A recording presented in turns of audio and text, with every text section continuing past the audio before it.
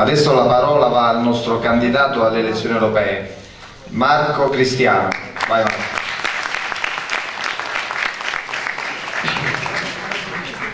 Buonasera a tutti, anche agli scalmanati che erano lì fuori a urlare pensando ancora di essere agli anni 70. Due parole soltanto per presentarmi. Eh, chi mi conosce sa bene che provengo da un'area politica ben indefinita.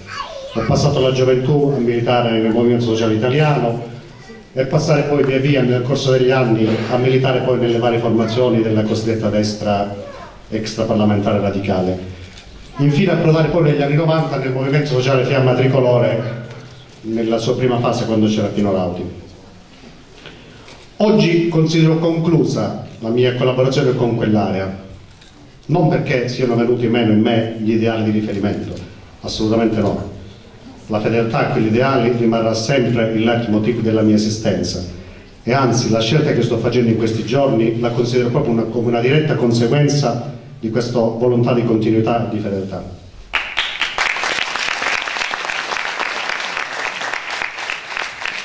La considero conclusa questa collaborazione con quell'area perché ritengo che sia oramai antistorico e fuorviante parlare ancora di destra e di sinistra o anche di nord e sud come giustamente accenna nel suo volumetto il professor Borghi nella presentazione. È cambiato lo scenario, è completamente cambiato lo scenario politico, la vita politica nazionale eh, è sempre più condizionata da quello che succede nel resto del mondo e noi nel resto del mondo non vediamo certo una destra e una sinistra battibeccare fra di loro, lo scontro è molto più articolato e complesso. Esiste un potere economico che cerca di contrapporsi a un potere politico. C'è tutto un mondo legato alla finanza, alle banche, le lobby, le associazioni, tutto proteso a cercare di condizionare, a cercare di dirigere le politiche economiche di singoli stati, popoli, inter popoli interi, interi continenti.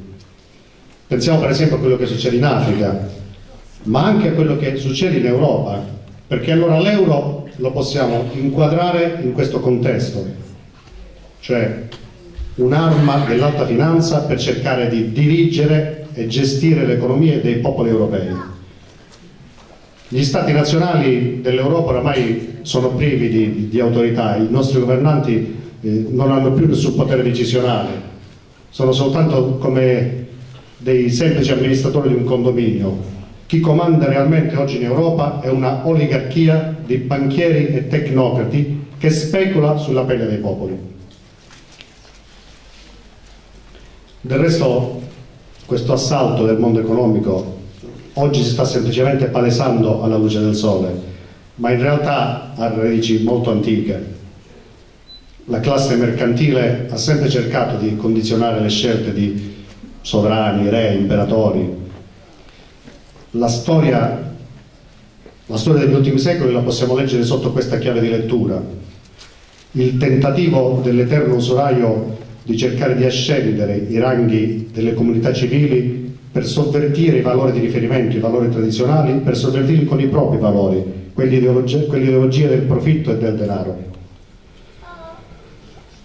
Ma torniamo ai nostri giorni. Basta euro, stop immigrazione. In una campagna elettorale calabrese parlare di immigrazione forse può sembrare un argomento secondario, ma così non è se lo inquadriamo sempre nel contesto europeo.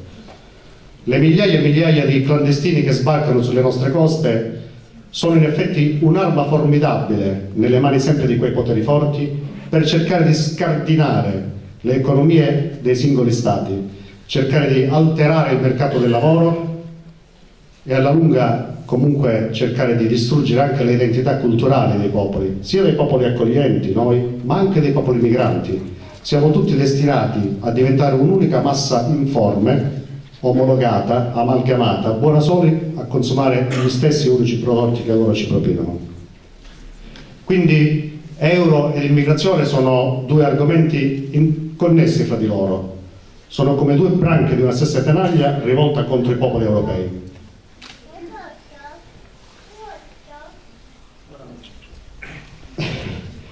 Un'ultima considerazione la voglio fare in merito alle perplessità che molti mi hanno espresso in questi giorni, tutti.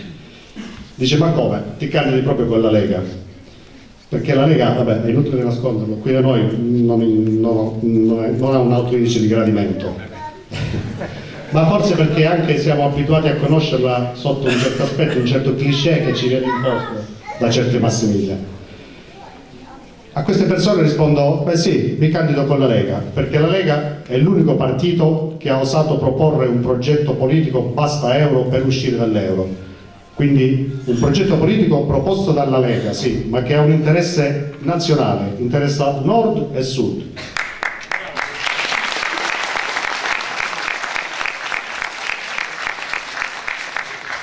Uscire dall'euro interessa ciascuno di noi singolarmente.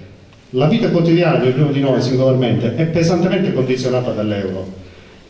E noi del Movimento Territorio e Lavoro abbiamo subito entusiasticamente abbracciato questa idea di federazione con la Lega, consapevole e fieri di far parte così di una compagine di movimenti europei che fanno capo al fronte nazionale di Marine Le Pen. Eh, anzi, se devo dire la verità, per me è stato il processo inverso. La voglia di affiancarmi al, al fronte nazionale di Le Pen mi ha portato a scegliere chi in Italia è il referente del fronte, cioè la Lega, l'unico partito riconosciuto come alleato del fronte.